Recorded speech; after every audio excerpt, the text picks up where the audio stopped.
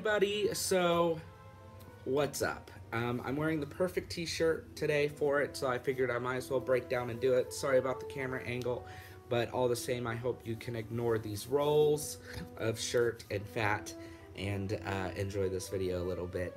Um, so I was asked to do a um, a review on the recent Harry Potter book. But before I start and begin, I want to say um, this review is going to have a lot of spoilers. This review is going to spoil some pretty big things in the book, so if you don't want them to be ruined, and I mean absolutely ruined, because I'm going to cover uh, parts, um, some of the more important parts of the story to you, please do not watch this. Please go out and get the book first, rent it, buy it, do something before you watch this. I personally believe it is definitely worth going out and spending $20 on. The main purpose I am doing this review is to have a discussion. I'd like to hear what you guys think about the book as well. I'm not going to tell you it's a crappy book. Uh, it's Harry Potter, and I love Harry Potter.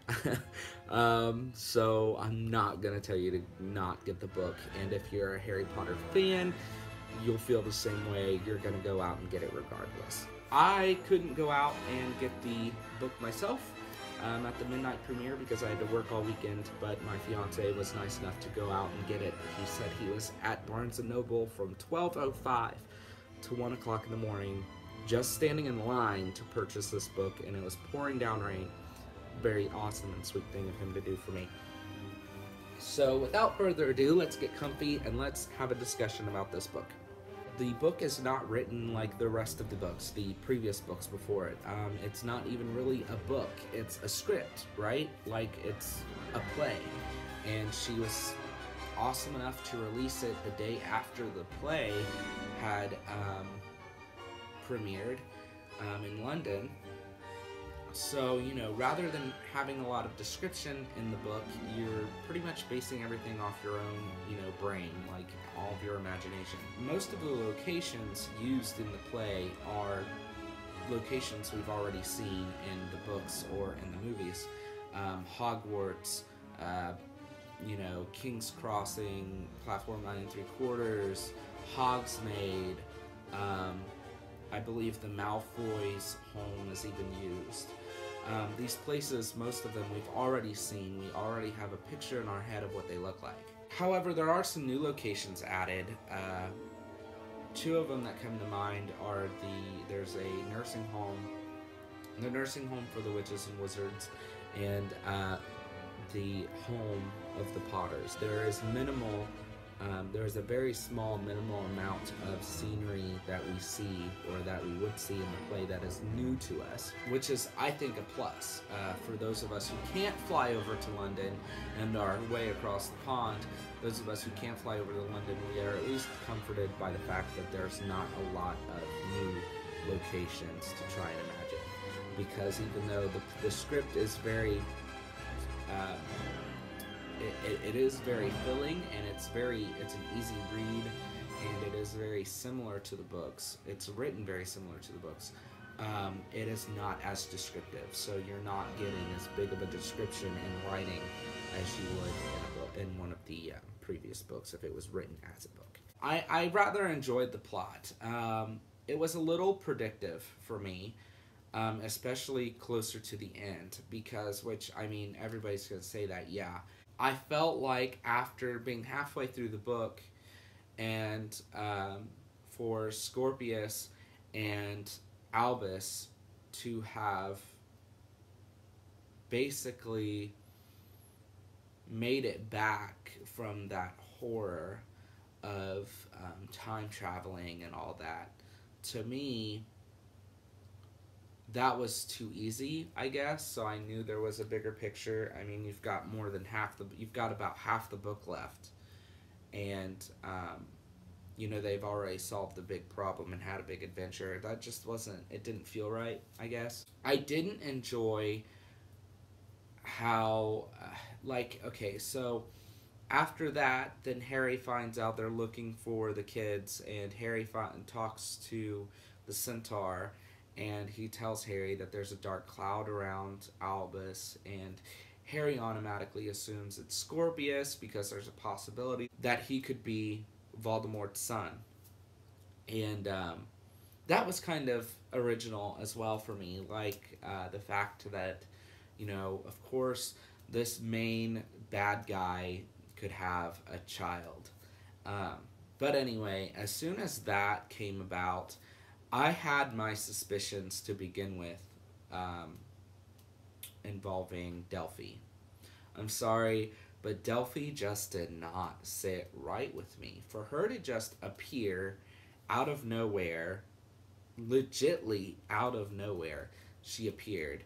And to just be all gung ho and talking to these, I think they're 14 at the time, but 14 year olds about all this serious stuff and being all gung ho and stuff and, and, and helping them do whatever. I didn't, she didn't sit right with me to begin with. And that's possibly the way it's supposed to be. That's possibly the way, um, you know, that, that may be what JK wants us to um, believe. But, and, ju- and again, just the lines is what we're seeing. I'm not, I wasn't, you know, I haven't seen the play, I haven't seen the actress actually play the character, but the way the character is written is just all short sorts of shade, like shady as fuck. Excuse my language, but she was. Um, so I kind of already was like, okay, yeah, dark cloud around Albus. It is definitely this bitch. Like she's got some shit up her fucking sleeves. But um, it wasn't really an emotional story for me. Um, and I think that's because we don't really get the time to build a bond to Albus and the rest of the kids. Um, I'm a little disappointed that the story completely focused on Albus. Um, I'm glad we got to know Scorpius, um, who is, you know, Malfoy's son. Um, I'm really glad we got to know him. Um, but James and Lily and the younger of the Weasley kids is kind of left out in senses. Um, like you, you hear about James and James has some lines, uh, but Lily, she's in the beginning of it, and then you don't really hear from her. Um, you don't really hear from the younger Weasley kid at all, and I'm not really sure how old he's supposed to be. Um, Rose is in it quite a lot, or at least, and the actor that plays Rose is in it a lot, um, which is really awesome. But um, I think it's just, I don't know, it's a little offsetting not hearing from these other kids and it completely focusing on um, Albus and his relationship with Harry. But that's also a good thing because, you know, those two things these two characters kind of play off a lot. Um, especially if Albus is the only one that kind of assists in doing something big like this. Um, with that being said, along with it not being very emotional for me, um, a friend has already talked to me about it and has told me he kind of thinks that uh, the whole play could do without the scenes involving Hagrid. And uh, these scenes specifically being a flashback scene of Hagrid telling Harry he's a, a wizard at the um, shack on the island, and um, also um, him finding Harry's family after uh, the tragedy on Godric Hollow. Um, I would agree that the scene involving um, Hagrid telling Harry he's a wizard doesn't really need to be replayed. Um, pretty much everybody knows the story of Harry Potter. Um, so everybody knows that scene. That's one of the big scenes that everybody knows. Um, however, the scene in which Hagrid finds Harry's parents and Harry, I think that is needed because I actually didn't feel any emotional tie to the storyline until that point. Because right before that point, um, Harry and his family, friends and family, are you know watching um, getting ready to watch Voldemort destroy Harry's family.